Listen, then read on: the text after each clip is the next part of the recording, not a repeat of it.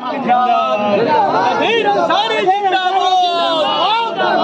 नजीर अंसारी जिंदाबाद। नजीर अंसारी जिंदाबाद। जीतेगा भाई जीतेगा। जीतेगा। भाई जीतेगा। जीतेगा। नजीर अंसारी जिंदाबाद। नजीर अंसारी जिंदाबाद जीतेगा भाई जीतेगा बिहार में निकाय चुनाव का तीसरा चरण का नामांकन जारी है। यह तस्वीरें दरभंगा जिला के जाले प्रखंड का है, जहाँ काफ़ी सारे प्रत्याशियों ने अपना नामांकन दाखिल किया। मुख्य पार्षद, उप मुख्य पार्षद और पार्षद पद के लिए आपको बता दें कि नगर परिषद के सबसे दमदार और राजनीति के अनुभव प्रत्याशी नजीर अहमद अंसारी ने आज अपना नामांकन पर्चा भरा, जहाँ सैकड़ों की तादाद में नजीर अहमद अंसारी का नारा लेते हुए उनके साथ समर्थक शामिल हुए।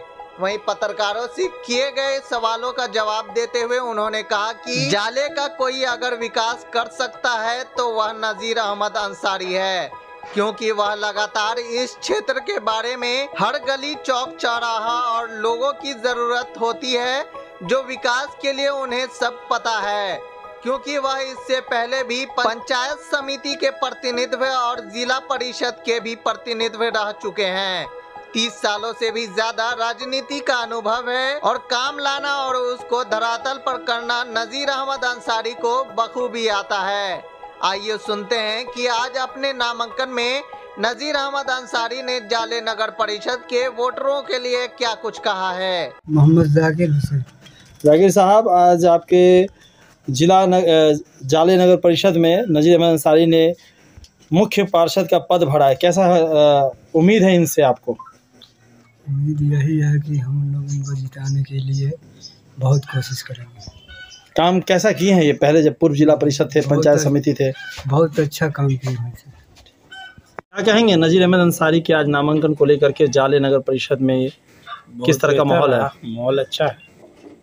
और काफ़ी उम्मीद है इंशाल्लाह निकल जाएँगे।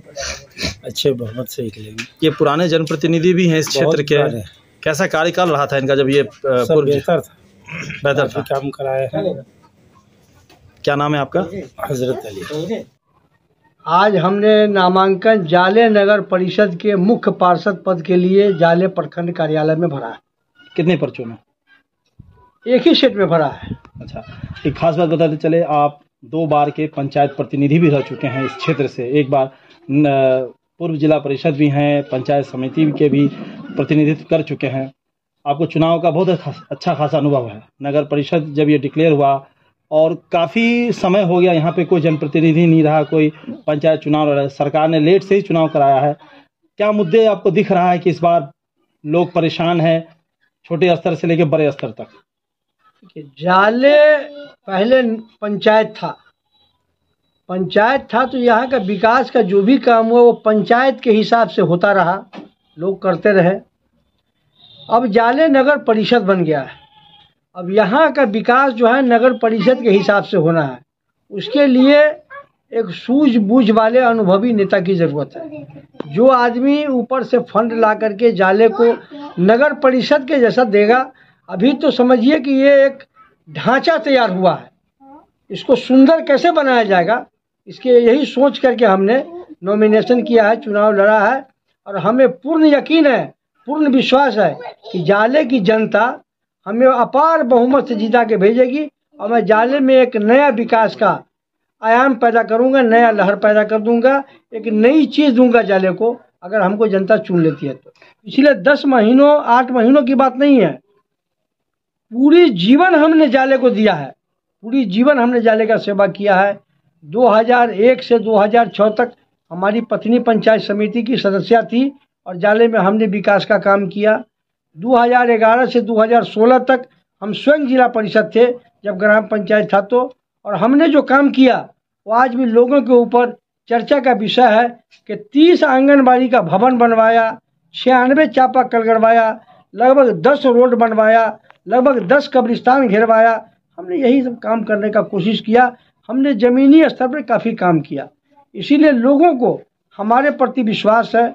जब हम क्षेत्र में आए तो लोगों ने हमसे कहा कि आप मुख्य पार्षद के लिए लड़िए। हम तमाम जनता आपके साथ हैं।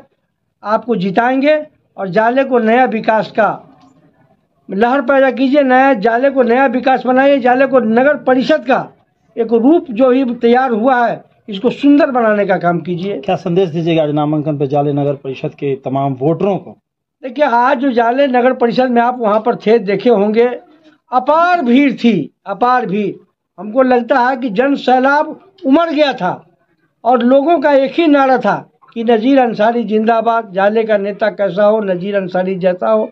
हमें पूर्ण विश्वास है कि हम अपार बहुमत से जीत करके आएँगे और जाले में नगर परिषद के मुख्य पार्षद बन करके सेवा करने का काम करेंगे।